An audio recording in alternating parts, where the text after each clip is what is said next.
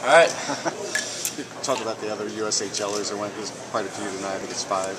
Yep. Um, you know, obviously they're great players. Uh, a guy like Matheson and Schmaltz are uh, really high-end skill players, and I think they'll do great in the future. So I'm just happy for them for sure. Talk about your game. How much offensive upside you think you have in just your overall game?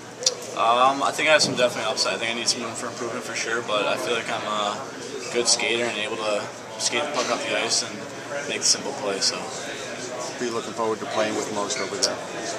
oh, everybody. I mean, the list goes on and on. Um, you know, Minnesota guy like McDonagh, obviously he's had a big year this year. Uh, so a guy like him, I mean, everyone, there's top to bottom, all those guys.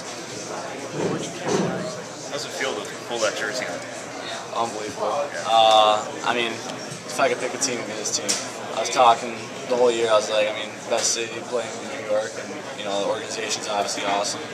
So uh, yeah, I mean, this is a dream come true. Obviously, for next year, uh, are they supportive of that path? Are you looking forward to that? Yeah, I am. Um, they got a great coaching staff in there. Uh, Mike Guentzel, Don Lucia, Grant Potulny, all of them. I think they'll help my game a ton and uh, keep progressing the next couple of years, however long it takes me to get to the New York Rangers. Anything in particular you're looking to work on? Um, I'd say uh, just being keep being a more all-around defenseman, uh, playing more physical in the D zone, and then also being more of an offensive threat too. How much contact did you have with the Rangers before the draft? Uh, a little bit, um, not a ton like some other teams, but I mean I'm ecstatic that they picked me. It's awesome.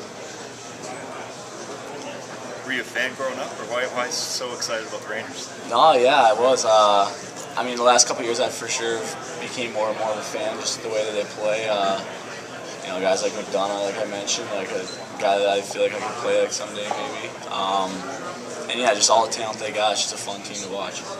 Is it because of the Americans that they have on the roster? Is that something that? Yep, I think so. And just you know the way they play, I think it's a fast style hockey, and I, I feel like I could fit in well there.